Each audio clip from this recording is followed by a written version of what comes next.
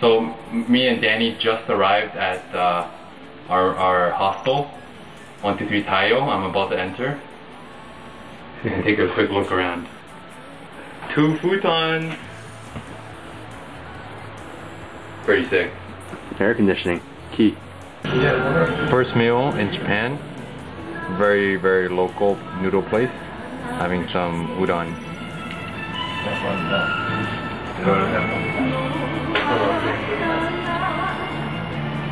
We're in the Osaka Museum of History right here. And this piece is absolutely amazing. How cool is that? Here we are on this tower that uh, Danny is not a fan of. You made it up. He said he's not, it's not high enough. The Tempozan Ferris wheel. Been a long day. The attractions haven't exactly lived up to the hype. So me and Danny are hoping this one will set us right before we go to bed tonight. Can't wait. Apparently one of the world's largest Ferris wheels. Over 1,200 meters tall. See you guys at the top. All right, here we are at the at the top of the Ferris wheel. Over a kilometer high up. And you can see the Tempozan uh, Bridge and all the night skylines of Osaka. Really beautiful, but I like the thing very slow. Guys, I'm exhausted. It's been a long day. Danny's brushing his teeth right now. And I just want to talk about the final attraction of the day that I went to that Danny didn't because for some reason doesn't like that kind of stuff. Outdoor hot springs. And the best part about it all is they have this bed uh, that's under a wooden roof and you put your head on the log and you literally lie in the bed naked. But you think, okay, well I'm gonna get cold. Well no, they have a, a, a slight stream of hot water just running through the bed continuously. So you're, you're laying on a sheet of hot water and it's absolutely amazing. The only issue I have, and it's not that big of an issue to be honest, because I, I don't know, I like to think I'm open-minded, but does everyone have to be naked? I mean, you couldn't, you know, wrap a towel around you or, or uh, I don't know, wear a bathing suit? It's just weird, and halfway through there's this cleaning lady that just walks in, and she doesn't care, and you've got like absolutely nothing on, it's just, it's a little awkward, I mean, even for me. At the Osaka Natural Museum, look at these mammoths. It's like the Nighton Museum, that movie where uh, all the all the animals came back to life. Got to represent the Toronto Raptors right here. Look at this guy. That's freaky. He looks like a turd, and look how beady his eyes are. Nasty. Dang it. I took a video. Hold on. We at the zoo. A huge giraffe. You gotta walk so slow, man. Check out the sheep. I'm about to feed it. Yeah, you want? Oh, took it right from my hand. This guy.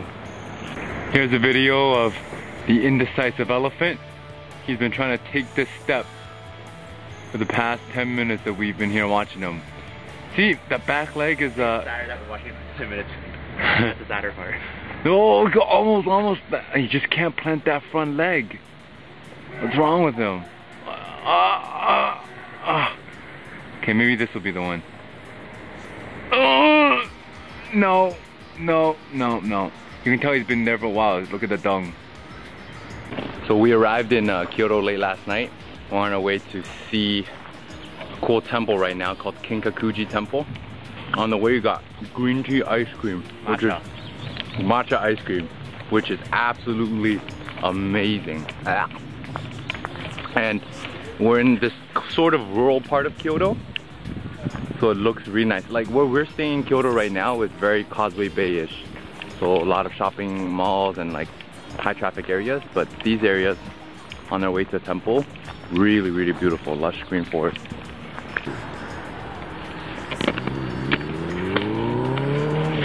So far, uh, Kyoto has been all about getting lost. We are in the middle of nowhere in the mountains. You can see. No road signs. Just uh, my little map here that we're trying to follow. And only a bit of Japanese from me to get us by. Danny is taking the lead, but I'm pretty sure he doesn't know where he's going. Got lost in rural Japan, but it's not a bad thing. Look at this place. Beautifully breathtaking. Definitely don't get to see stuff like this in Toronto. Check this out. Some random university, two Japanese girls playing lacrosse. The heck? Checking in with an update. No, we're not lost anymore, but we are deep into the bamboo forest of Kyoto. Check this out. That's awesome, eh? Thank you. Not filming you. Talking about bamboos. Alright, baboon. Can't wait to eat tonight as we finish up our Kyoto walk of Arayashima area. I think that's what it's called. I may be wrong. I'm too lazy to look at my sheet. See you guys in a bit. Oh, here's a rickshaw. What say you guys in a bit? Oh, So many see you guys in a because they want updates. My fans. As in Victor Lu. And today uh, I walked by this guy who was pulling this rickshaw and he complimented me on my Naruto shirt. How appropriate. Once again, we are lost in rural Japan trying to find the bus. And some lady was explaining to me where to go, took the directions, well, as best I, as I can understand her, and turns out we're here. It's a nice area. Yeah, but it doesn't look like there are any buses going through here. Nice. Hopefully, as we make this left turn, we'll see a big road with a bus stop. No, I see a mirror. Dingus. Where the heck are we? Not tourist area. Lost Masters. I see no tourists here. Oh, yo, yo, yo, there's a big road. Or is that a parking lot? I can't tell. すみません。あーここストップはどうですか？ええあー片びらの辻。うんうん、あ片びらの筋はね、ずーっとまだまっすぐ、今そこにバス停ありますね、バス停、はい。停留所。もう一つ向こうにす、えー、とす墨の蔵ってあるんですよね。だからもうまだ二にあ、わかりました。まっすぐ。ほんでそこが今アリス川っていうバス停なんですよね。でその次墨の蔵っていうところで、その次はもう信号もありますけど、そこまだ通り過ごして片びらの筋。はい。ちょっと字が読みにくい字やけどね。はい。ありがとうございます。I understood nothing. I think she said, uh, you go straight for a bit. She goes, yeah, masugu, go straight. I don't remember if masugu is- means go straight for a long time or go straight for a short time. And then you gotta turn right. We finally made it. Not lost. Check out the menu. We're at something that Danny calls the sushi train, which is a conveyor belt of sushi passing by your table. Pretty cool, eh? Day two in Kyoto. Raining like crazy. It's raining cats and dogs here. We're at Kiyomizu Temple.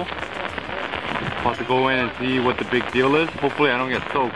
Even though as I'm vlogging right now, I can feel the raindrops on my arm.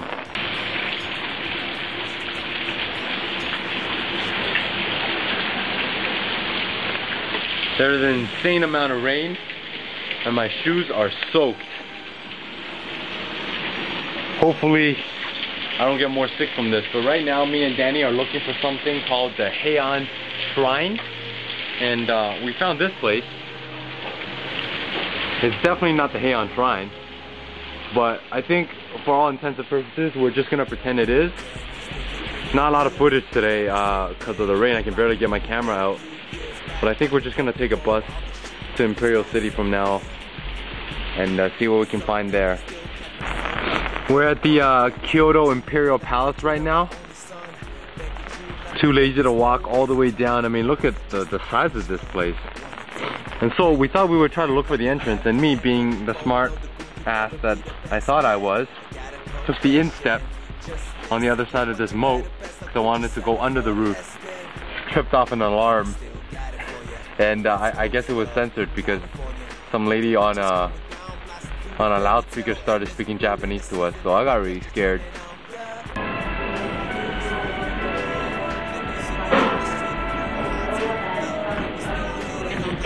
Finally made it to the Kyoto International Manga Museum. My socks are soaked. Uh, my socks are soaked. I'm so wet, so cold. Chances are I'm gonna get sick, but this place. This place is awesome. So I'm doing this workshop right now where you get to create your own anime hero or heroine. Alright guys, I'm done. Here is my character. Last day in Japan. Here we are at Kobe. We've got reservations tonight to eat at Mouriya for Kobe beef. We're here at Mouriya, about to have Kobe beef. Here is our beef. Obviously it's not cooked yet, but I'll let you guys know how it tastes once uh, I put it in my mouth. Here the chef is uh, making our sides. It's kind of cool because cause he's doing it right in front of us and uh, he already did the garlic. Really, really cool.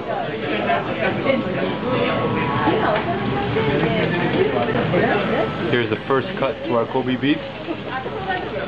And it goes on that wooden pallet right there. Really cool. It's like tap, style with legit Japanese chef. Caught me right in the act. Oh, that's cool. Looks like he's only gonna focus on a couple of pieces at once.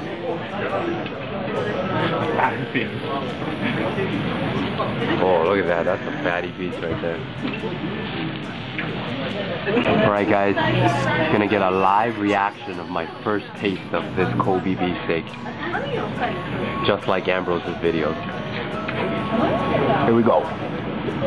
Oh yeah. Oh, it's coming. It's coming.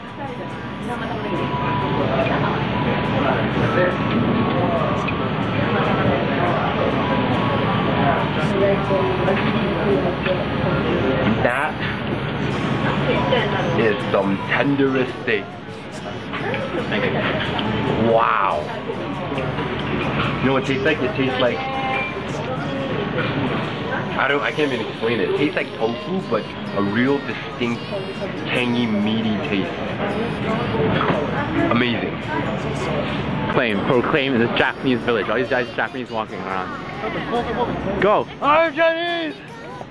The island belongs to us! I don't eat what you said. Us! Alright, now let's cross tag. I'm scared. I'm scared.